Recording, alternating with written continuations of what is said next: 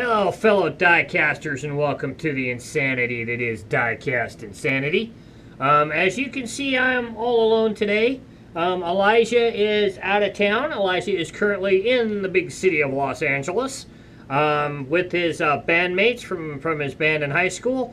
Um, they're going to Disneyland and they're playing in the parade at Disneyland, so they're down there for some stuff for the week. So he's out of town. So it's just going to be me today. Um, we've got another bi-weekly featured car, and I kind of, it's more bi-weekly featured cars this week. I decided to pick, eh, because they're, they're kind of all the same, we're going to go back in time a little bit to Hot Wheels beginning of making monster trucks. So, you can currently find all three of these listed on eBay right now, along with the other ones from these. As you can probably see in the background, they are the Bigfoot trucks. Woo! I have three of them. I have the really tall, tired Bigfoot. I have the normal Bigfoot.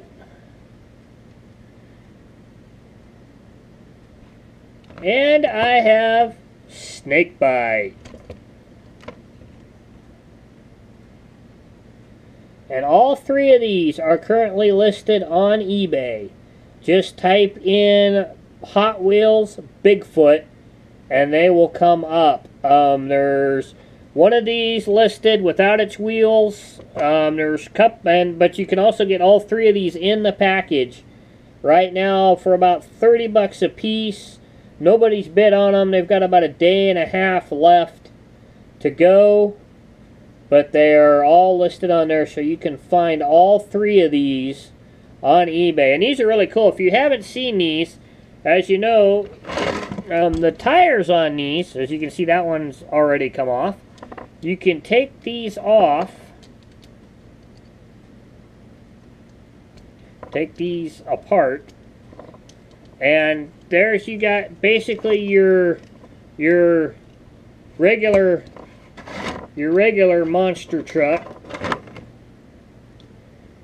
And then these can also come off and there's a little tire in the center of these for loading them on a truck. And all three of these do that. They're all the same. And you can interchange these. These will clip on to that as well so you can like go three wide in the back or whatever. So it's pretty cool. These are pretty cool trucks. I got these brand new. When they first came out I was endeavoring to get every single one of them um, I the only thing I didn't get was the Ford Aerostar van that they had that had the tracks on it and I didn't get the truck and trailer with the Bigfoot um, out of these. I wanted to get all of them and I never I never got those two, so it's kind of kind of sucks. But but that's Hot Wheels' first endeavor with the monster truck. These came out uh, early mid '90s, if memory serves. Um, yeah, they got a date of '91, so 1992, so early '90s. And these were their first endeavor with the monster truck. All they had was Bigfoot and and Snakebite, and that's all they had. And then as you can see, this one's basically, these two trucks here are basically the same truck. As you can see, you can take this off. And this truck also comes with two of these.